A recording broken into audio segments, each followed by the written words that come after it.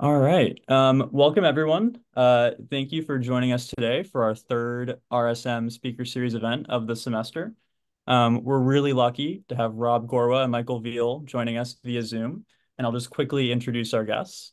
Uh, Rob is a postdoctoral research fellow at the WZB Berlin Social Science Center, a fellow at the Center for Democracy and Technology, and the Center for International Governance Innovation, as well as a co-founder of the Platform Governance Research Network, uh, and his first book, The Politics of Platform Regulation, is forthcoming with Oxford University Press. Uh, and Michael is Associate Professor in Digital Rights and Regulation and Vice Dean for Educational Innovation at University College London's Faculty of Laws. His research focuses on how to understand and address challenges of power and justice that digital technologies and their users create and exacerbate in areas such as privacy-enhancing technologies and machine learning. Um, and they're here today to discuss their work on the emerging governance challenges posed by AI model marketplaces uh, and other intermediaries in the AI ecosystem. Um, we'll be sure to leave some time for questions, so please put them into the chat and the Q&A function. Um, but with that, I'll turn it over to Rob and Michael. Welcome. Uh, hi, everyone. I think I'll, I'll get started. Uh, uh, it's really great to be here. Um, we'll we'll dig right in um, to this paper, which is uh, forthcoming. It's available online, but we'll be running through some of the main points together. Um, so what we're talking about today is about intermediaries in AI. We often hear of AI talked about like a black box or an algorithm or something like this, but in practice, it's a lot more like traditional internet regulation and challenges within it because just like the internet, it is made up of uh, often tens, hundreds of intermediaries that work together to deliver the services functionality that you see. Uh, so you could say that AI is more about intermediaries than artificial intelligence in a way. And we can feel that there, uh, we can just see some of them familiar faces and they'll recur again and again. The training data centers, AWS, NVIDIA providing the chips or Azure, uh, teaming up with a lot of the nascent AI companies. You find that important data sources and those who maintain and manage them are key as well. Uh, LAION and Common Crawl for um, images and text. Um, and Microsoft also runs something called COCO, Common Objects and Context, just a fraction of some of these uh, training data sets that we see. Uh, of course, famous foundation model developers building uh, large models using large amounts of compute that others build upon, and doing so using other intermediaries that themselves are also uh, digital labor platforms, like or Mechanical Turk, labeling this data, cleaning, refining it. Further providers such as Vertex AI from Google or Amazon SageMaker offer people the ability to tweak and fine tune some of those foundation models using their own data, which may in turn come from those labeling services uh, and use the compute services above so you can start to see they're intertwined.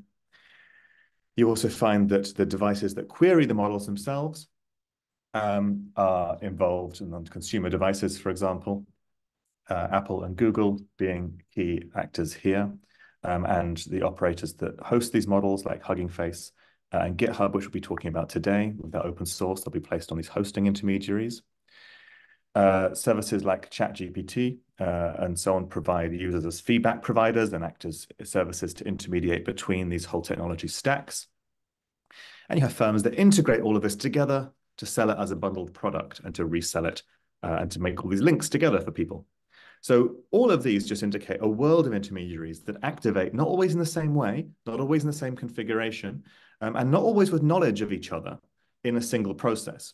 So when we talk about regulating or governing AI, we have a lot of intervention points here, just like we do uh, on other kinds of network technologies. Um, and that is the focus of uh, a research agenda that Rob and I are, are working on along with many other people um, to feel about this area and to work out where interventions look like. So I'll pass to Rob to talk about the focus for today. Yeah, so the paper that we want to talk about um, is about something that we call model marketplaces, which is our alliterative little term uh, for AI hosting intermediaries. Again, these are interesting platforms that have emerged in the AI intermediary and development ecosystem in the last couple of years um, and they've started to attract more journalistic attention, but not actually that much from academics so far.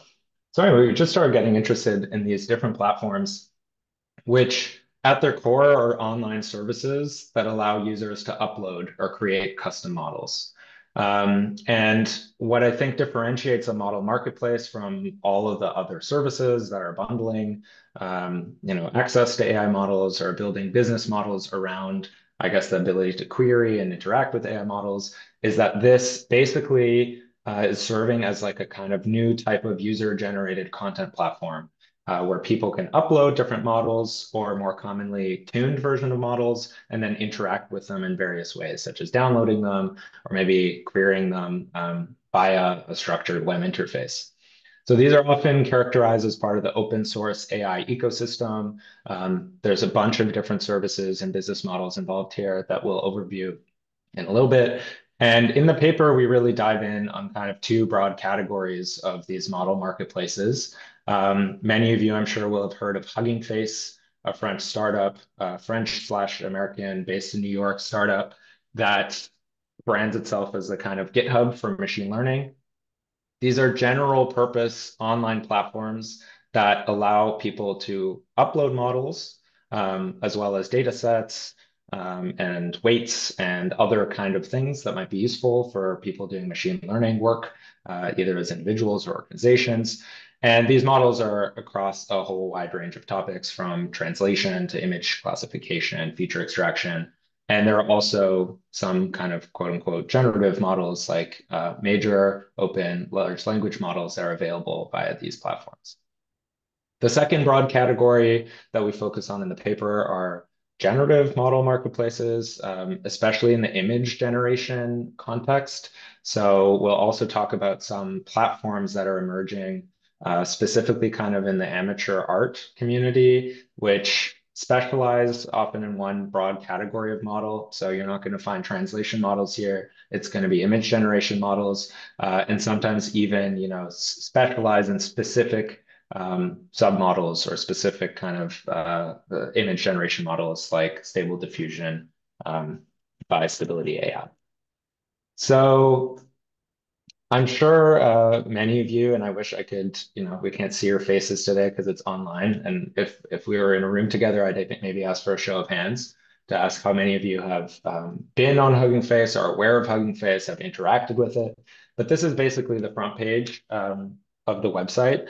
And just to point out a few things here, this is um, it's really interesting because A, you can see the, the sheer kind of popularity of these platforms as they've emerged, especially Hugging Face in particular. So I don't know exactly when you took the screenshot, Michael, but uh, yeah, today. as of as of today, there's more than 500,000 different models available here, and you can easily search them with all of these kind of tags that are on the left uh, hand of the screen. And one thing that's really important to notice is that a mix of basically big research labs and organizations so, you know, for example, Google Brain, Google Research, uh, Facebook AI Research slash Meta, uh, Stability AI, all of these kind of major, major research organizations are uploading their models, uh, making them widely available here. Um, you know, some of these are very popular. Uh, you can't see it here, but one of the major Stability AI, AI models has four or five million downloads or queries uh, in the last couple months as well as a kind of mix of, um, I guess, you know, hobbyists. Um, so right at the bottom left column, you can see a model called Moondream, which was just published by uh, an individual. Um, and this is, what was it? It was, uh, it was a LLM designed, exactly. So again, you can see that there are some content discovery mechanisms that are being integrated here. They have a trending models function. That one was just uploaded a day ago and has 3,000 downloads. So anyway, this is Hugging Face. So very briefly in the paper, I guess what we were trying to do was uh, explore this kind of weird space that is emerging and just do a little bit of a preliminary mapping of the different platforms and companies that are existing in this space. And as we'll get into, kind of uh, how they are dealing with content governance problems. Uh, and we'll get into this as to why this is the interest of our paper um, and why we think it poses some particularly interesting challenges for internet regulation. So anyway, without going too far into depth of this, um, it's all available in the paper online, but you can see that there's a bunch of different services that we found. Um, they have kind of different valences. There's a lot of image generation ones, There's some generic ones, even though Hugging Face is the most popular. And I guess um, just to reiterate the kind of first point I made, the key thing that we consider to be, I guess, the necessary condition of a model marketplace is that it allows third-party user upload of models. So there are many other services that provide intermediation functions that, for example, allow you to interact with maybe Stable Diffusion uh, via an iPhone app. Um, there are other services for image generation like Midjourney, for example, which are really popular, uh, but you cannot upload models to Midjourney or kind of directly um, uh, tamper or, or, or, play with the models. Um, you have to interact with them with a structured interface. Uh, I think in the case of Midjourney, it's uh, largely via Discord. Um, so this is a kind of uh, breakdown of the different models in the space. Uh, and we looked at whether they had content policies and um, how they developed those policies, but we'll get into that.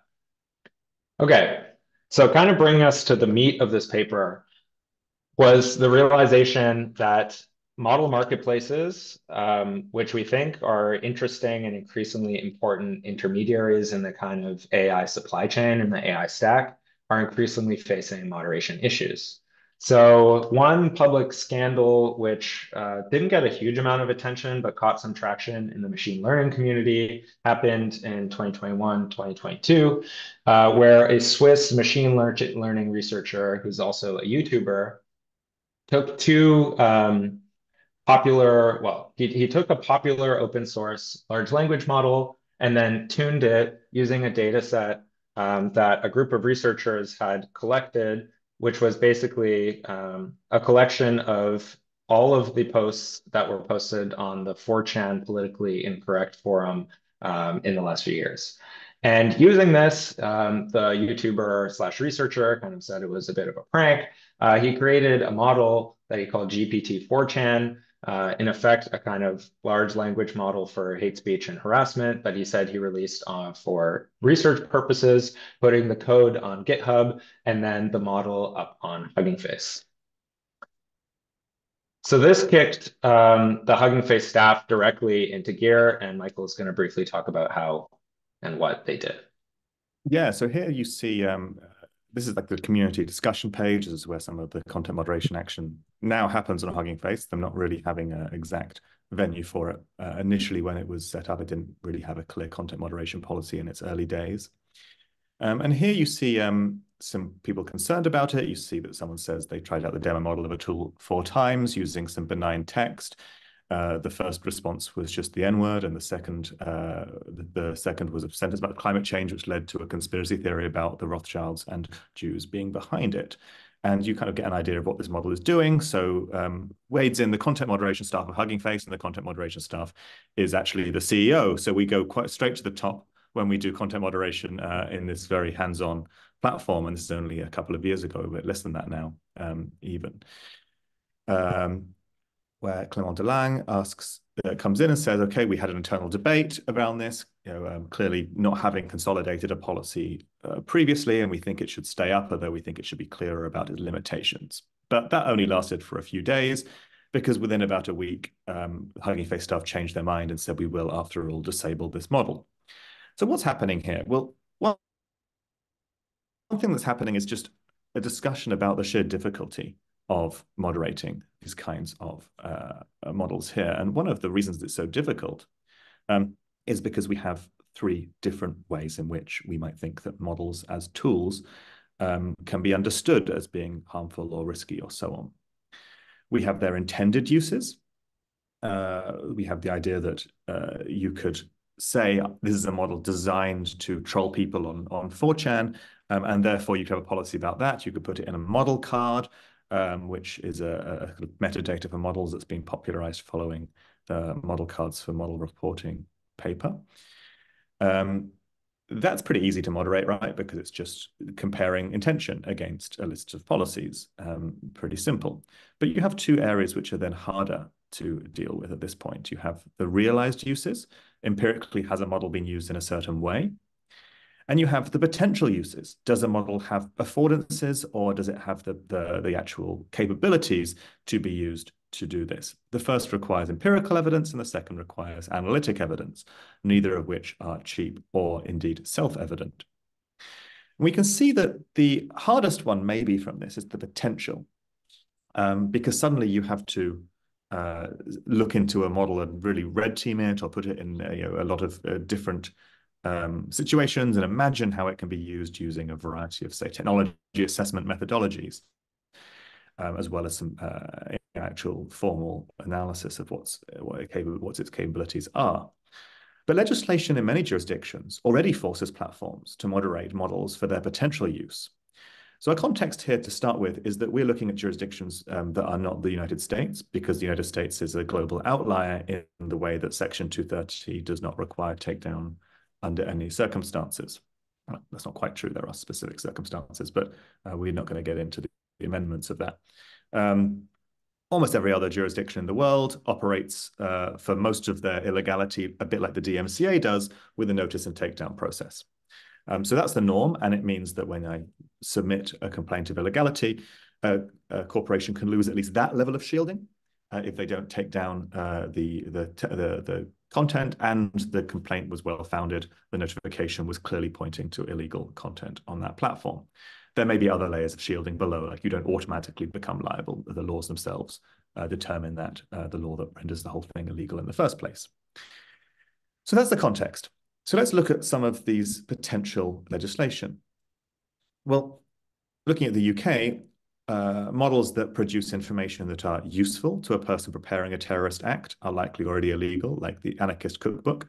If the model regurgitates this, um, this is likely to be full foul of the Terrorism Act 2000. It can be transformed into, say, bomb instructions or so on, and that's about potential information there.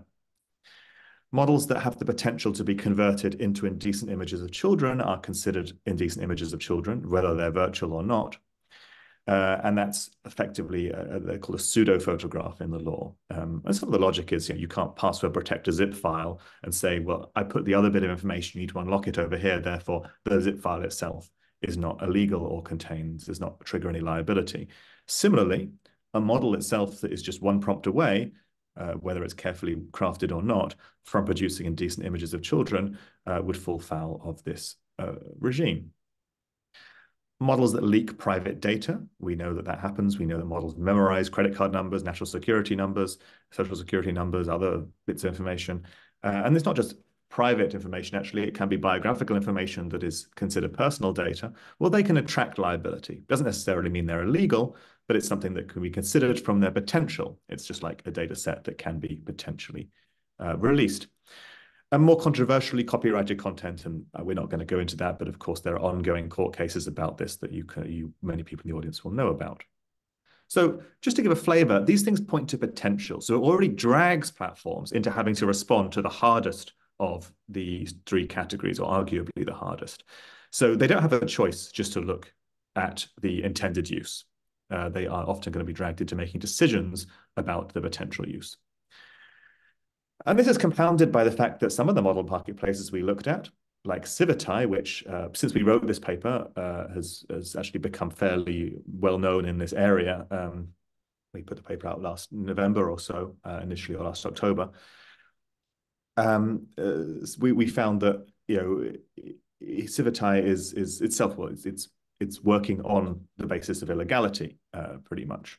Oops, it was going forward and back here. Um, uh, we're working, it's working on the basis of, of uh, consent, not, uh, consensual and non-consensual uh, AI uh, porn in many cases, and therefore it's not surprising that we get um, liability that accrues from that.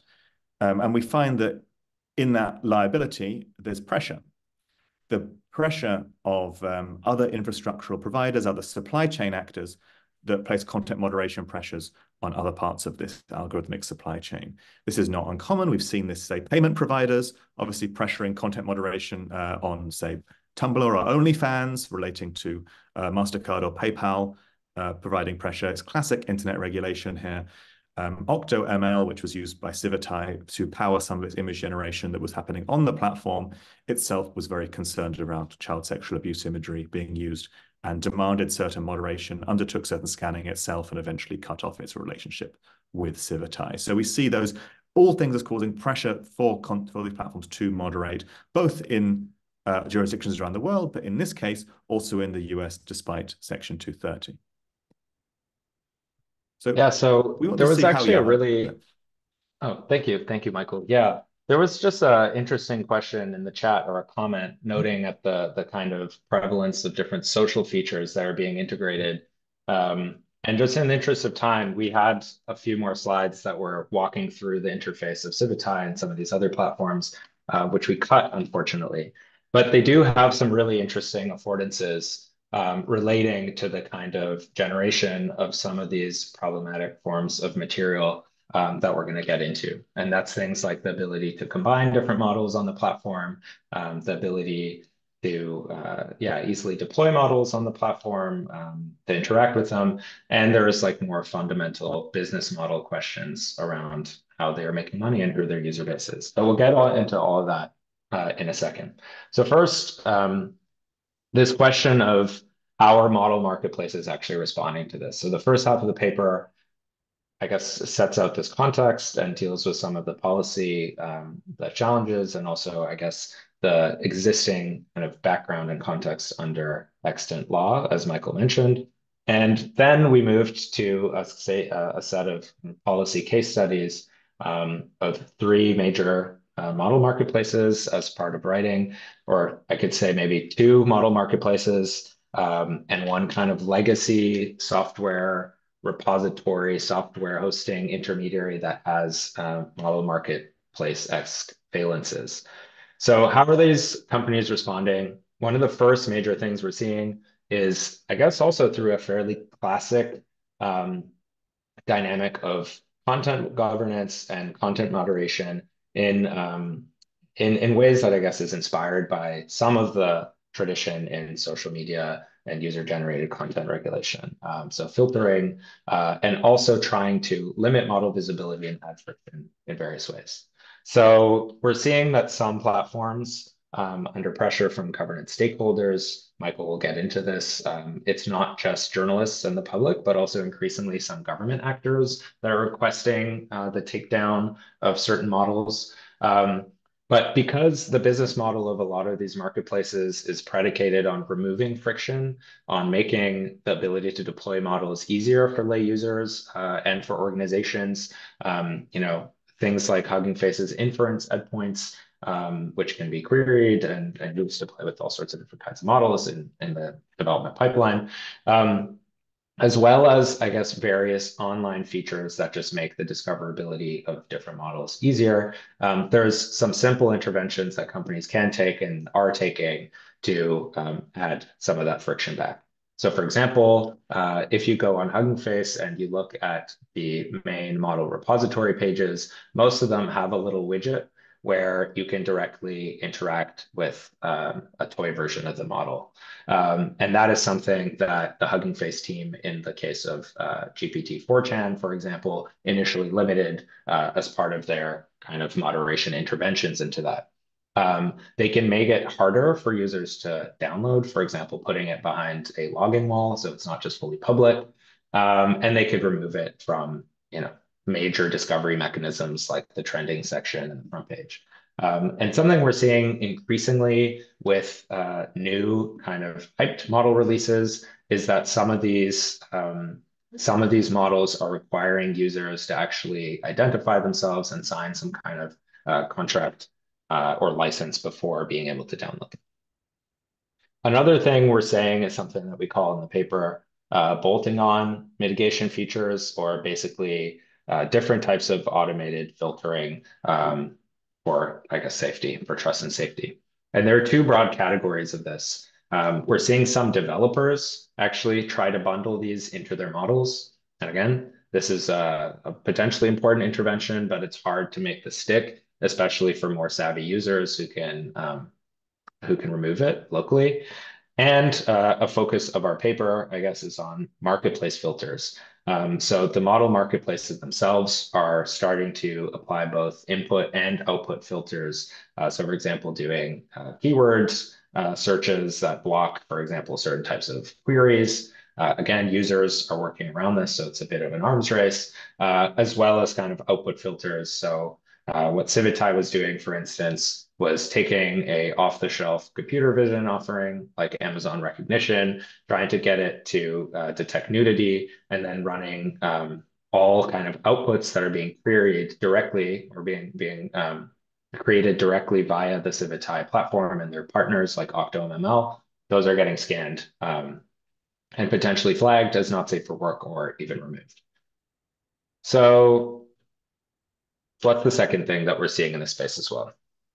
Yeah, so uh, we're looking one one thing that was uh, was moving now to some points I think that are a bit kind of novel and curious that we were discovering and wanted to analyze as part of this this paper. One is the outsourcing of moderation standards um, themselves. Uh, and that's an unusual thing. We don't really see this very often. What's happening here when we look at Hugging Face is that Hugging Face is spending quite a lot of effort and energy, including in academic spaces, um, pushing something they call behavioral use licenses. These are like the evolution of copyleft licenses, where the uh, distribution on use of uh, IP protected material is conditional on the behavior of the licensee. So uh, the main one is OpenRAIL, that's Open Responsible AI License. Um, but there are many, many others that are being used, including specific ones being generated by developers themselves. It's not entirely new. JSON, the JavaScript object notation language, actually has a don't don't be evil license. Uh, don't don't don't use for evil, only use for good. So you can't use JSON for evil, but I think that's probably not very enforceable. Um, and there's the uh, the they're not really famous, I'd say, but it's one of those things. Tempting to say it's famous. Uh, the uh, anyone but Richard Stallman license, which is uh, was uh, sort of maybe one of these joke licenses that exist that say anyone can use it for anything unless you are Richard Stallman, in which case you cannot use it for anything at all. So there are, there are a world of specific licenses that have existed before. Um, what's happening here? Um, Hang on. Um, there, um, however, however, um, the uh, what's happened here is that um, Hugging Face doesn't just uh, respond to the actual licensor or their agent saying, "Hey, we see something on our, on your platform that is, say, a version of our model that has been used in terms for, say, me medical use or to um, to create harm to people or in a discriminatory way or to be used by police or something like this, uh, that someone's posted on your platform, please take it down. They actually respond to third parties pointing out these license uh, these license terms have been breached. So they, someone says, hey, you know, this model actually breaches the terms of the upstream model that were written in a very open-ended way. And so Hugging Face ends up enforcing, by the looks of what they're doing right now, and this may change in the future, um, uh, and looking to a world where they're enforcing uh, rules that are written by other people. Um, this is a problem because you should be very careful with the rules you write into your content moderation uh, uh, guidelines, community standards, and similar, because some things are very difficult to operationalize. Um, and we'll see some of these here. So if we look at the OpenRAIL license, which is the most popular of the behavioral use licenses on the platform, uh, will we see that uh, you, you can not use models to disseminate verifiably false information, you can't disseminate personal information that can be used to harm an individual or to generate it at all. Um, you can't disparage somebody using a model. We're not sure what that would mean in this case. Uh, you can't violate any applicable national, federal, state, local, or even international law uh, using this model, uh, which will depend on your jurisdiction. It's very unclear how that would work. Um, and you can't have uh, indirect discrimination or disparate impact using a model, which is also difficult to prove. We're not saying any of these things are bad terms in principle, but they're very hard to operationalize in practice. They're very hard to operationalize in the classic content moderation landscape um, of uh, outsourced or fast decisions that are being made, uh, ideally not by the CEO every single time. And we saw this as an example that we draw upon in the paper um, and thanks to 404 Media for the picture, when they covered our paper, they made some beautiful images. So we are going to just borrow these now with much thanks to their reporting. Please go and subscribe to that fantastic journalistic uh, endeavor. Um, in 2022 and 2023, Hugging Face removed models of Xi Jinping singing. And they removed it because a complaint was made. It was redacted. We don't know who made this complaint, but it was very similar to complaints made on GitHub by the Chinese Network Authority, which is part of the Chinese government that uh, does take these kind of requests on the basis of Chinese law and takedown requests. And they said, please remove this model because uh, Hugging Face did remove it. We I can't see the exact request, but Hugging Face removed it saying, we remove it because it is not in adherence with the upstream model's license. The upstream model, which creates singing voices or whoever you want to upload and fine tune the model to do, um, was hosted on GitHub, and someone had placed the or the, the licensor had placed a license saying no political use allowed for this uh, model. And so immediately you wade into saying this is political. And that is the reason why you couldn't do it. Now, Hugging Face did afterwards, when pressed by 404, say it's also impersonation, and that's not part of our community standards. At which point, uh, 404 asked why they hadn't taken down, taken down all these Biden singing generators um, that were on Hugging Face, and uh, apparently there was no response forthcoming at that point. So you can see this is a very thorny area, and we're not pointing the finger at Hugging Face for doing anything bad or unethical. In fact, we, we quite like them as an organization. Um, the point is they, they can't put their hand up and say, we will solve all these problems, or we will be the intervention point or the arbiter for all of these issues, or indeed the arbiter of other people's rules. It is not a job you want. It is not a job you should be volunteering for. And we need to have some careful consideration about how this whole ecosystem is going to work in terms of moderation for it not to go a bit wrong. One lesson that we did see that is a very interesting trajectory and something that we think could hold promise for the future, although it's not perfect, was on GitHub. Now, GitHub isn't strictly a model marketplace, at least not primarily. It's a software uh, repository. And one thing that Rob and I found when writing this paper is it is astounding that nobody in scholarship, as we're aware of, has written about GitHub's content moderation policies. We tried to look. If you know anything, please do send us a postcard um, uh, there was no literature we could find that was really doing analysis of software moderation on GitHub. Surprising, there's been lots of research on all kinds of platforms, but um, so we had to do quite a lot of primary work digging through uh, threads and um, and and blogs and posts and forums and all these kind of things and Reddit threads and all these kind of things to find out some interesting juicy tales for you folk. And here's a juicy tale that we discovered, which was that uh, in 2020, and some of you may know this, it was reported lightly at the time. Uh, GitHub removed YouTube DL, which was a tool, probably many people have used it in the chat, I'd imagine. Um, it's a command line tool where you can put in a YouTube uh, URL and it will give you a copy of the video. Very handy. The beloved Recording Industry of America uh, sent a takedown request under DMCA section 1201, which is the anti-circumvention um, section, and that relates to software that can go around digital rights management um, long being pointed as problematic as a, as a clause by people like Pamela Samuelson uh, for many, many years. Um, uh, but it's a difficult one to deal with. And so GitHub did take it down. Then there was public outcry. GitHub then commissioned legal analysis.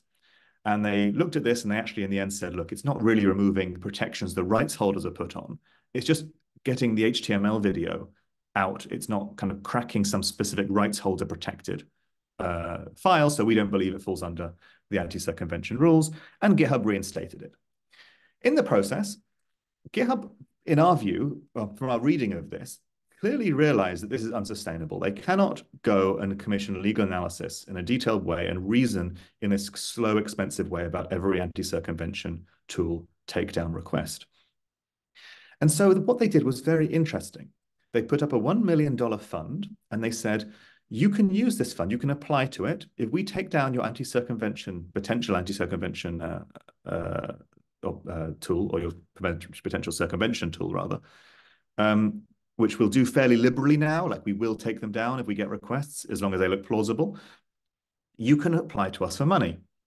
You can use that money and you can hire some lawyers or an analyst or whatever, whatever you need to write a DMCA counter notice which uh, the geeks in the audience will be will be loving because DMCA counter notices are a um, a very interesting tool. They're they're not exactly great at solving all the problems in the world. Um, they require the um, person whose content has been removed to submit uh, under threat of perjury a good uh, a good faith uh, statement that they they believed it to be actually legal to have that content on the platform.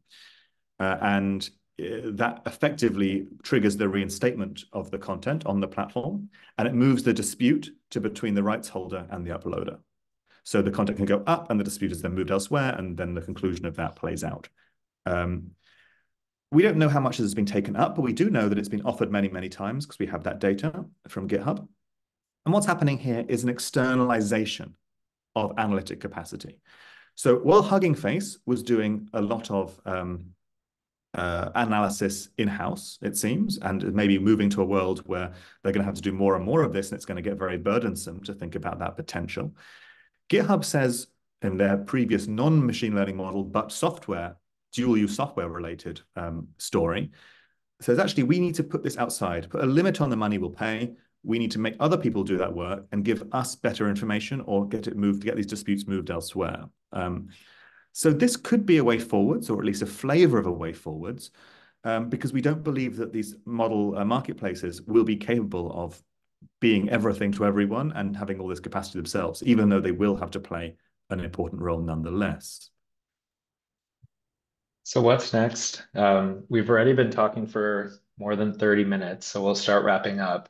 And yeah, please do check out the paper if you're interested in any of this. Um, it's, I don't know about you, Michael, it's my longest paper. I think it clocked in at like 18 or 19,000 words. Um, as Michael said, we were, you know, really diving into some of the earlier software studies work on GitHub. We were trying to find work on content governance um, in the GitHub context, having a hard time, and just also trying to do a lot of you know background mapping, analysis of different business models emerging, as well as a policy analysis and some case studies. So yeah, we were we were having a hard time finding a venue that would take such a monster paper. Maybe we should have split it and done like a part one, part two. But anyway, or gone for a US law journal with like a million pages and one in two inch margins. Oh man, with the with the US law journal footnotes, this would have been would have been off the chain.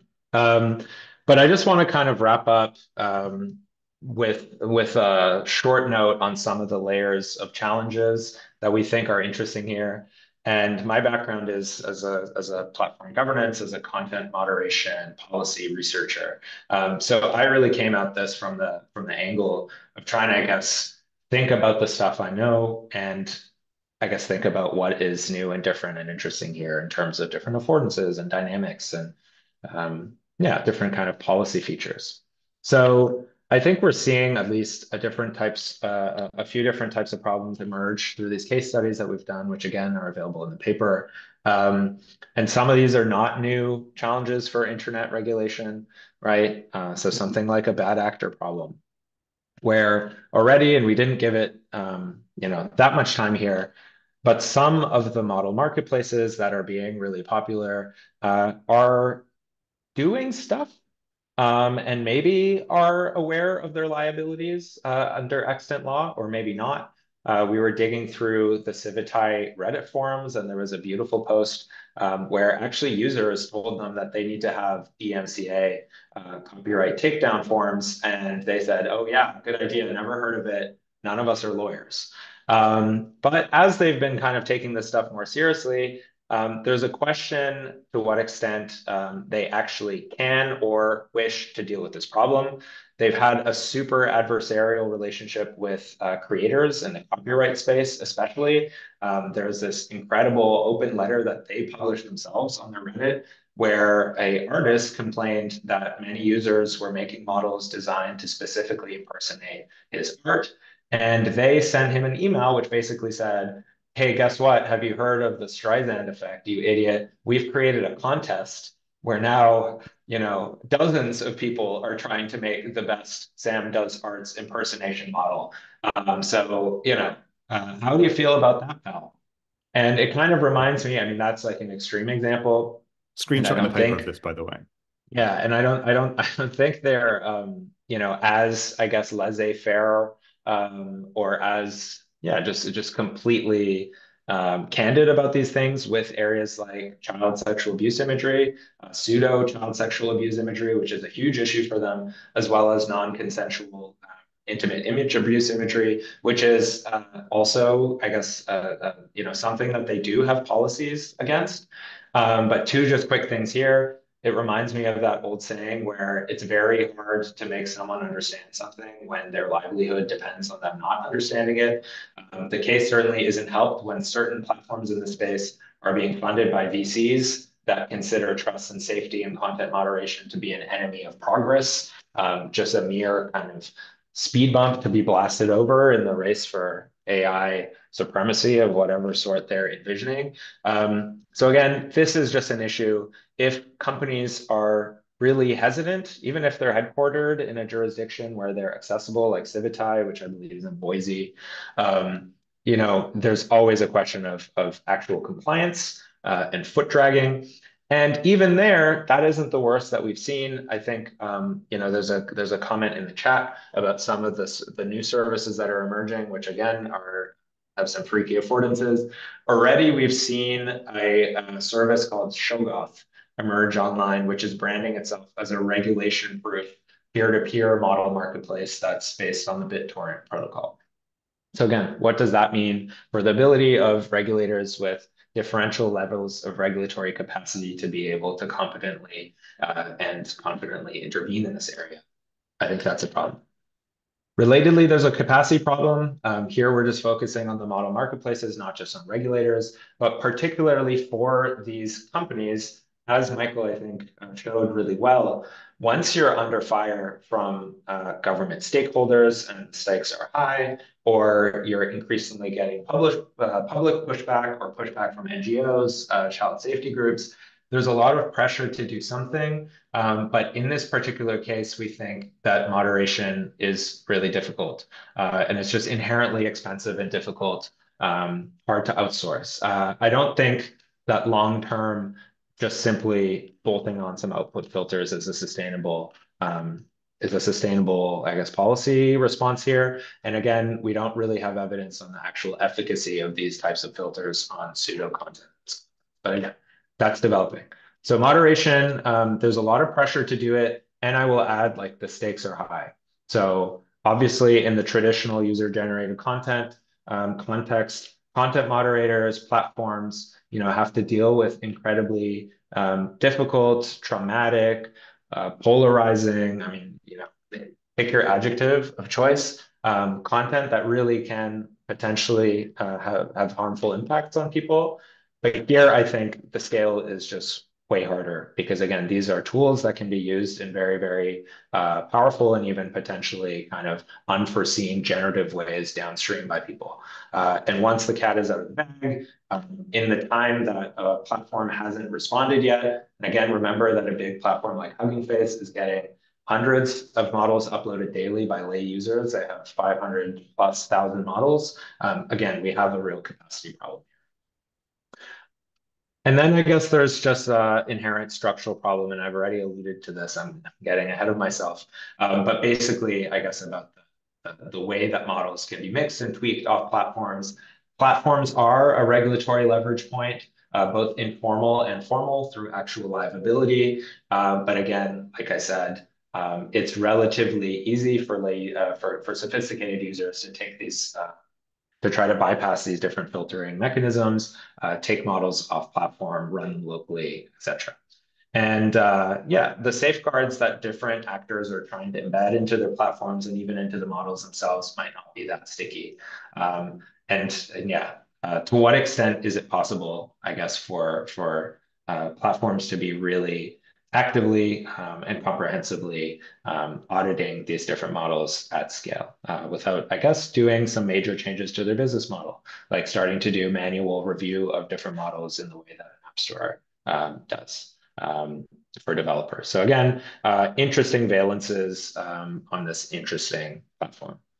So what do we do about it? I guess there are three broad, you know, these are just some of the problems that we pin out in this paper. Um, and I know that Michael has some ideas um, of how we might kind of reply to this capacity problem uh, in the very least. Yeah. So the last thing we'll just say, I think, just to wrap up here, uh, so sort of we leave the work going forwards for some things we're working on right now as well. Um, uh, maybe it's a legal geek problem, but uh, when you submit a takedown request, to a platform alleging that this plat this violates either a law or a standard or a license or something like this, the platform has to adjudicate on this. We know this, platform governance is the way it works. However, um, legally, thinking of jurisdictions that are not Section 230 style jurisdictions, and maybe ones that are more DMCA style, but including the DMCA as well, given all the behavioral use licensing, intermediary liability shielding is lost if a in EU and UK at least, if um, if a firm is given specific actual knowledge or made aware of infringing content, such that a diligent economic operator should be able to know that legality.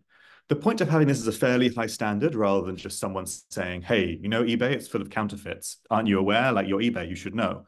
but saying no, no, this was a counterfeit bag specifically. Here's the evidence. Here, you know, uh, here's the legal. We have the rights for that. Please take it down. Um, is, is kind of how it works more uh, in those jurisdictions. It's designed so that the platform doesn't have to do detailed legal analysis, and therefore it can operate fairly smoothly and cheaply. However, AI infringement in this, case, in this place is not about legal clarity, at least not alone. It's about empirical. It's an empirical question. Content moderation on a platform like Hugging Face or GitHub or Civitai can become a research project each and every time. If you say, can this can this model generate terrorist content? Can this model generate CSAM? Is it possible? Uh, is it likely? You know, under what conditions? Well, these are questions that you actually have to ask with people who can do this kind of probing. There's no automatic tools, and the problems are so open-ended that it doesn't seem like any automated toolbox is going to give you uh, an easy way out of this challenge. So we propose that we do need to develop evidence packs for, um, for model flagging. Um, these are just implicit or explicit standards uh, for, for this area. So you have to think about um, uh, the, the, the, what kind of evidence would actually lead you to take this down. And it's a balancing test between evidence that the platform can look over and kind of verify without doing their own research, but not also being so big and detailed that the um, uh, that the platform itself has to then verify like a huge document uh, and, and, and analyze it itself. So this balance is going to have to come out implicitly anyway, as this is figured out, and we argue it should come out more explicitly, and we have to do work on what this should look like. Um, yeah, so with that, uh, that's just sort of the next steps, um, and the paper is there. Apologies for uh, running over, but we have time for questions, and I believe we can also go over a bit if um, if if we need to to answer questions for those of you around, but please do put them in the chat. Please do put them in the question answer thing. We'll go through them all. We've seen some already. Thanks, everyone. Uh, wonderful. Thank you guys so much. Um, i am happy to just pick out a couple of the questions that are coming in through the chat. Um, but a first one um, from Chris Quarles. Uh, do you think that moderation in AI is easier or harder to do effectively than traditional content moderation? Um, so yeah, any any discontinuities or continuities that pose unique challenges in this space compared to uh, content moderation in the social media context. I can just very quickly research. Yeah, go go Rob. Go go. Exactly. No, that's what I was going to say. So I think that that kind of ties in nicely to Michael's last point, which yeah. is basically that yeah, you need to you know this is not a context where you can imagine someone spending 10 minute 10 seconds you know per model to review it as uh, you know a content an outsourced contractor uh, in the social media moderation supply chain does um, for you know major companies like Instagram or Facebook or Twitter. Yeah. Um, I guess the the one thing which I also uh, just had as a kind of gut reaction when I was starting to wade into this space uh, with Michael last year was a concern also that just some of the easy wins and some of the lessons of basically the last 15 years of social media content moderation of platform governance haven't really been applied here yet. Uh, and maybe that's just because of resourcing or incentives and all these things we've discussed. But again, I think there's a lot more that companies could do, um, especially the major ones that have big valuations and are widely used. Um, so, you know, having staff that are actively kind of red teaming the platform and just looking out um, for for stuff that is really problematic. Doing this research again, they could be doing it proactively, um, especially if the stakes for harm are high. Um, they could be doing some kind of you know trusted developer program or some kind of model review for unverified use. Again, there's there's many many different things that they could be doing um, to kind of govern visibility, especially for for new content. Um, and again, as far as we know, this is a fast moving space. Um, the people at Hugging Face, especially, you know, seem really motivated. Um, so there's probably a lot of change that is happening, um, you know, every day. Uh, but I think there's there's clearly some some things that we could see um, in this space, at least from the actors that are really well motivated and want to tackle this problem. Great. And uh, there was a question earlier in the chat about uh, liability in some of these cases, and I, I, guess I would just add to that by I know in the paper you go in depth about the way that the DSA and the EU AI Act are pretty silent on the role that these model marketplaces and intermediaries play in this space. I'm just curious if um, anything related to the the proposed um, revised product liability directive would change that at all. I know you have a, in a footnote somewhere in the paper that products can still be considered user-generated content in online platforms in the EU. Um, but curious about that additional sort of regulatory thing that may be coming down the road. And it also segues a little bit with a question from Jonathan Bellack um, about whether or not models should be viewed as a fundamentally different class of technology or content with distinct distribution rules, almost like armaments, um, and whether it, it's worth thinking about uh, models as, as, a different subcategory um, within this regulatory space. Yeah, certainly. Um, there are, um, I believe, in terms of products, we're thinking about not just product liability, but also the EU AI Act for this zone, because product liability is more about a tort harm when something happens rather than the hosting of a model. Unless the hosting caused harm, then you're probably not going to get a liability claim on that directly. Um, but you can get products taken down, and platforms do get takedown requests from uh, product regulators, and that's allowed um, within various legal regimes. The AI Act actually in, in, the Digital Services Act in the EU interplay in such a way that you don't get, um, I don't think you get AI Act related takedown requests. Um, I think that's uh, that's actually foreclosed by the combination of those two regimes um, but they can be asked ordered to be taken down by uh, by uh, by by regulators themselves. So you do have some parts of the law where you think about liability of intermediaries around AI, but I guess what we're trying to say here is that this is about national law. Uh, if it's about liability, uh, much more than it's about sort of European law. If we look at Europe. Um, and the whole hodgepodge of national law, which is exactly the bread and butter of content moderation, having to deal with, well, does this model, you know, does this model regularly blaspheme the Thai king? is of course like the kind of the kind of classic example in in Como. So uh, I think that's where we start to see this and the idea that platforms may have to get to grips with some of these regimes, um, particularly if we don't want platforms just to take down content arbitrarily. And, and we don't really know how many of these regimes deal with these open-ended models.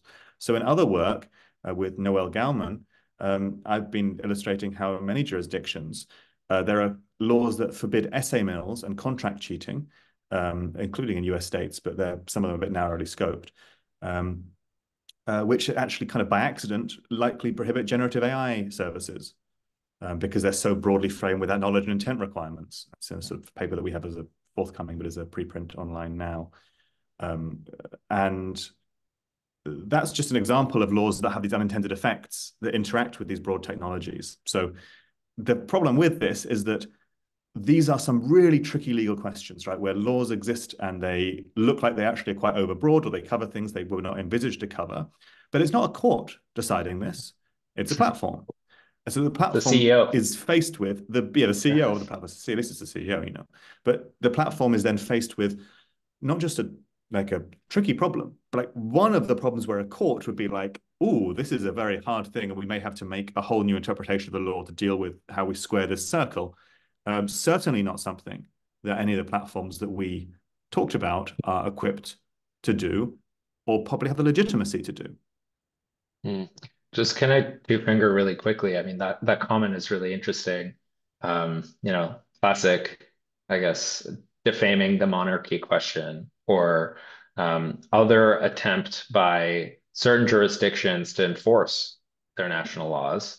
Um, connecting to your slides earlier, Michael, which are touching on the OpenRAIL licenses, right? If, you know, how many of the major models, uh, including ones released by big research labs, are being released under OpenRAIL by a platform like Hugging Face, and OpenRAIL says that uh, a takedown is justified if it violates any national law right? I mean i'm just i'm just interested to see how this is going to play out in the coming years and if we'll see some cheeky jurisdictions trying to remove major models um, just to see if they can and i think part of what we're i guess arguing for and saying here is that i don't think companies are really prepared for that um, and prepared to make those kinds of decisions in a robust way although bear in mind with this that legally it's only if the licensor complains So if the Right. mod foundation model developer says you broke the terms of my license, or an agent of them says that, that there is a takedown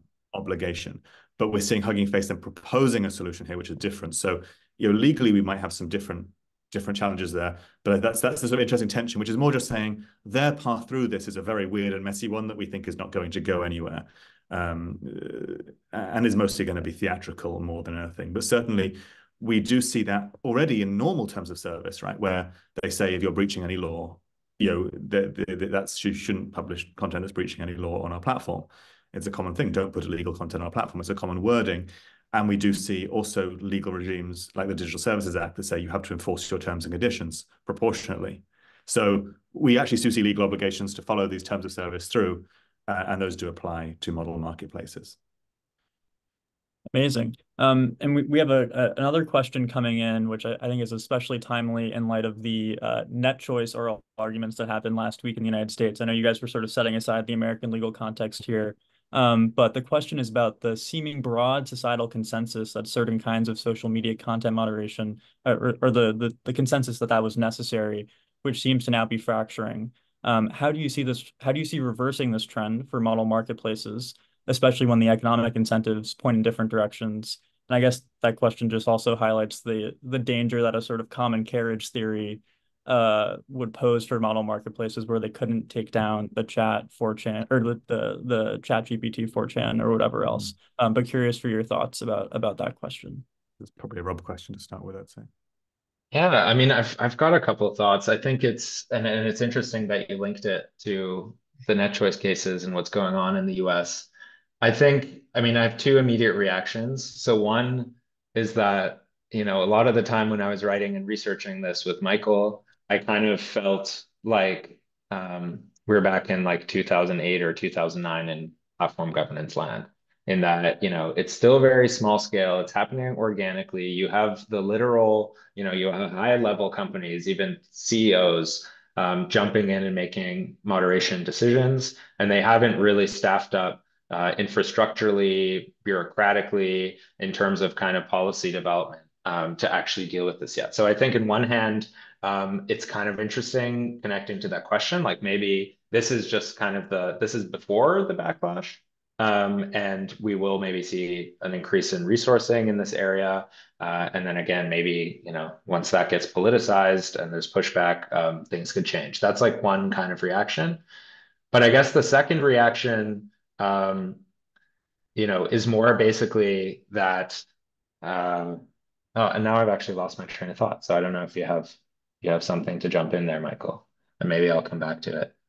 It's late um, here, and I'm hungry. Yeah, I'd, I'd say that this is interesting because yeah, I'm not sure that the trust and safety world then maps super well onto the AI intermediaries world, at least the way it's it's sort of been constructed. And of course, it looks the same, but it's a bit different. And the logics then are kind of different because we're still wondering where in this supply chain you intervene. Whereas social media, it's pretty obvious. We don't really think it's a good idea to intervene at the DNS level or like the ISP level, and we don't really think it's a great idea to intervene at like client-side scanning level and like have everything done on the device. And so in general, like it's pretty clear who does this, although there's community moderation and sort of the actors within that space. But for the AI space, like really not sure. Do you just stop these things being created? Do you stop them being deployed by users who are like really at the very, very end? Or do you put some like intervention in the middle to stop them being distributed? Um, and uh, you know, the actors like Hugging Face that are saying, "Hey, please pick us, pick us." It would be a nice idea that we would we would moderate for this. That's um, that's a bit a bit tricky, I'd say. Um, I'd also spend this moment to go back in the chat just to the questions about Lumen and to yeah. just to indicate that that yeah, Lumen will be a great thing to have this uploaded to. But interestingly, GitHub and Hugging Face, both without being asked, have or, already create um, repositories of all of their takedown requests and publish them that almost no one ever looks at. We were we couldn't find anyone who looked at these things other than us, you know, in any scholarship. Um, and Hugging so, Face redacts. Uh, Hugging Face redacts some of it. Yeah, exactly. But yeah, but that is a best practice for due process yeah. and transparency. I just yeah. I just picked up my thread. Sorry, um, cool, long cool, day. Thread away. What I what I basically was gonna was gonna add, which I think makes this particularly interesting, maybe for the U.S. context. Um, and I I hate to do it, but um, to plug the the book that I've been working on for the last five or six years, which is really, I guess, about the political drivers and mechanisms driving um, government efforts to shape how companies do content moderation. So the politics of platform regulation. If we think a little bit about that in this context, what I think is interesting is that actually a lot of the cutting edge issues here, especially for some of the potential bad actors that we mentioned, um, might actually not be as problematic from like a regulatory demand perspective in the US context. And I think part of that is because these are issues where, you know, I mean, the hate speech generating chatbot is one thing, um, but you know, revenge porn, uh, child abuse imagery, these are things where even in the US we see bipartisan support and you know that's that's in that little Venn diagram where you could imagine congressional action for example happening. And you know so I wouldn't just point to net, NetChoice I'd point to uh, KOSA and and other kind of related bills around child safety. So I think on one hand obviously you know the techlash ebbs and flows and there has been um, a wave of investment from companies, which also now has subsided in certain uh, instances where some companies think that actually, you know, regulatory compliance or, or um, I guess good faith efforts to do trust and safety aren't really worth it anymore. Um, but I think, you know, still, um, yeah, I guess like in in the medium term, it's feasible to imagine more government pressure, especially on the informal side, not just from civil society groups that are really motivated in spaces like child safety, but also you know um, government actors that want model marketplaces to take this stuff more seriously.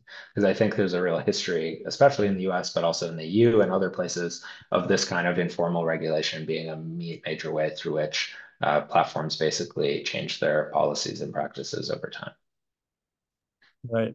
And I guess if we could squeeze in uh, one last question from the chat. I know it's uh, late across yeah. the pond, and I appreciate you guys sticking with us. Um, but the question um, concerns examples of community-governed marketplaces yeah, and federated marketplaces, um, and how you see AI governance, uh, or how do you see uh, it, it, taking shape and looking like in these spaces? I know you make the distinction in the paper between uh, commercial um, and community sort of um, content moderation policies and that and that sort of binary. So curious for your thoughts here. Yeah, so there's two, two few things that go on. So we do we don't see any examples of what you would say community governed federated marketplaces yet. We see we mentioned Shoggoth systems. We see kind of federated marketplaces as being a response to content moderation to say we need to develop stuff with no moderation whatsoever. We do see, and we outlined in the paper, we didn't give it much time in the talk, we see community governance a bit stronger in mm-hmm. software regulation, and we particularly see that on GitHub and Hugging Face, where, um, well, to some extent on Civitai, given that the, the, the people who run it, uh, the customers are telling them to maybe have a DMCA process. But the um, uh, the the uh, on GitHub, we we look at times when um, uh, where software for security researchers is causes controversy, in particular toolkits for pen testing, uh, where uh, GitHub actually took down or prevented a toolkit that had Microsoft exploits in, um, uh, uh, uh where just after they'd been bought by Microsoft, and people found that quite controversial. And then um, there was a backlash, and they GitHub sort of felt like they had to put multiple versions of this policy out to the community, and they did actually edit them in response to this, and they had a you know a version that was quite different at the end. Um, Hugging Face, I think, also by relying heavily on the community talk pages to have like open discussions about content moderation. We see this as a new thing, um, not wholly new, obviously, in the whole internet, but it's a new thing for a kind of commodity platform, I think, to have that kind of open thread discussion that's kind of outside in, or inside out rather, you know, um, uh, at the moment at least. So I think we see that. Um, we may go and see more federated governance, but in practice, we're not talking about speech and like hugely different standards here. The difference is that, you know, the, the problem with the tool is that that speech you can just close your ears to and say, hey, you know, in our federated zone, we talk like this. In your federated zone, we talk like this. Um, and the harm is like pretty localized, you'd say. Of course, uh, but there's lots of complexity on top of that. But a tool is like, I'm selling a gun over here, and like, I'm not selling a gun over here, but you can just download the gun here and then move and shoot the person over there. Like, it's very different than than a normal expression-based different standards. So we don't, you know, th that's why the laws that we talk about are much more extreme about, you know, generation of CSAM, generation of terrorist content and instructions, and so on. And so if you do have federated marketplaces, the small ones are going to get hit by a legal hammer that's the size of the moon. And that's not exactly the same if you say, actually, federation helps us um, balance different expression standards without having to have a homogenous one size fits all thing. It's like, well, you maybe do need that if someone is selling like malware LLMs over here that are affecting the entire world. That's different than a than a traditional speech harm, at least at least in Europe, where we don't see everything as speech. so, yeah. I mean, there's just a question of, I guess, the ability of certain types of communities to effectively govern in the in the public interest, unfortunately, right? And already we did mention it here, um, but someone brought it up in the chat that a lot of these uh, communities, especially in the image generation space, have a lot of community features. So they're maybe not fully community governed. They're still doing quote unquote commercial content moderation or rather, um, you know, community oriented moderation where all the mods are Hugging Faces uh, staff or Civitai's small staff. Um, but they're actually trying to exploit the community uh, for monetization purposes, right? Um, so Civitai really uh, relies on donations and is active in trying to grow its user base. Its whole kind of value add is being easier to use, um, easier to interact with models, easier to see what models look like than something like Hugging Face. So uh, a lot of models are multi-homed and are posted on multiple platforms. And you know, we see in the talk pages on Civitai that people are talking about um, uh, uh, talking about this and where they keep their different stuff as like almost insurance strategy in case stuff is getting moderated. Um, but the the feature um, that they have uh, rolled out to much journalistic fanfare from our friends at 404 Media is uh, something that they call bounties. And that's their first attempt to monetize uh, some of the community on their platform, where basically um, they've developed an auction system where any user can request a model that produces certain types of content. So, for example, a model that um, is tuned to create the likeness of X celebrity, um, or you know, and and or or or of uh, create like art that kind of looks like a certain photographer or a current current uh, a painter that you like. And again, um, their policies explicitly say that this cannot be a porn model um, that is impersonating someone. And again, how fast are they actually in terms of um, you know acting on these types of uh, models when they post? That's something that'd be interesting to research empirically. But again, because of the features we mentioned, it's very trivial to take the impersonating Michael Veale model and combine it with a porn model, um, either on Civitai potentially or off platform. And the thing that the journalists at 404 uh, found, which I found slightly freaky, um, is that you know it's not just big ticket artists and celebrities that are being targeted through these bounties. And, and sorry, I didn't fully explain, but the idea is that you have an auction, multiple people submit impersonating models, and then the person that created the bounty um, gets to decide which one is their favorite, and then there's some kind of financial compensation to the winner of this contest. Um, and we're also seeing this being used for micro celebrities, Twitch streamers, influencers, and freakily um, 404 found like some apparent randos. So people are just posting, here's an IG handle. Can you skirt the public photos of my ex or something of some random person? Uh, again, this stuff is very gendered um, and say, hey, um, you know, create me an impersonation model. So again, um, that I guess is this tricky question of like, to what extent do community valences actually help you govern more responsibly? Amazing. Well, uh, hope everyone can join me in thanking Michael and, and Rob. Uh, we, we've seen the the sun go down behind each of your uh, office windows, so really appreciate you joining us at what I know is a bit more of an inconvenient time than those of us based here in the U.S. But um, yeah, thank you again. Um, looking forward to seeing how this really exciting uh, research area develops and all your your subsequent work. But um, yeah, appreciate the talk and and the, the generous contributions from the folks in the chat as well. And we hope to see you in two weeks for an event with Dave Willner on moderating AI and moderating with AI. So looking at how large multi multimodal models and large language models can help solve some intractable problems in more traditional content moderation. So um, a nice sort of follow up to this event, and we hope to see you guys there. Thanks, everyone. Thanks all for having Thanks us. so much. Thanks for having us.